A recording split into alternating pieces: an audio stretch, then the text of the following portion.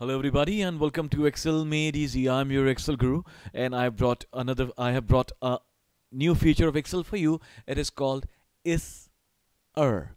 I S E R R. Well, what does it do? Well, it helps you in identifying whether a specific cell has a error or not. Well, there are two things we need to look into that it will not consider two things. First, obviously, if there is no error, it will not consider that. And if there is hash n slash a mentioned, it will also not consider this as an error. It will not consider this as an error. There's a separate formula which will do that. But this formula doesn't. So let us see how does it this work. Is equal to ISERR bracket open and it's asking for the value. This is the value. It says false. That means there is no error with this cell now if I copy the same over here it will say a true for this because there is an error over here. But however for this one it is saying false. It is saying there is no error because this formula is built in such a way that it is supposed to disregard hash n slash a sign na sign. So this is the ISERR formula.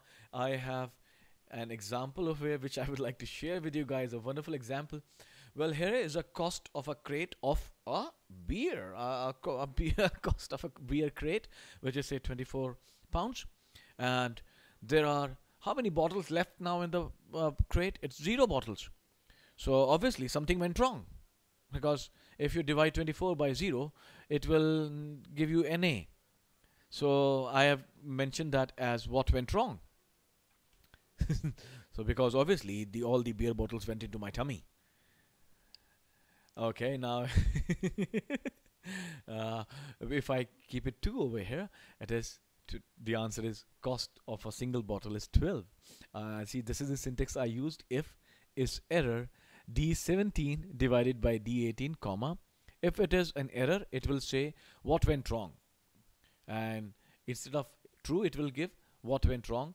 Else it will give the result which is happening over here. Let me type 0 again over there and it's saying what went wrong? Who drank the beer? Well now you know who drank the beer. Okay well this file is available for free download on my website. You can simply go to my website and download this file for free uh, this excel file and have it for practice or just for sakes keeping sakes. And you can also go to YouTube, uh, Facebook, and like me over there, and do share my work with your friends. Well, this is your Excel Guru signing off for the day. Have a wonderful day ahead. Happy Excel learning.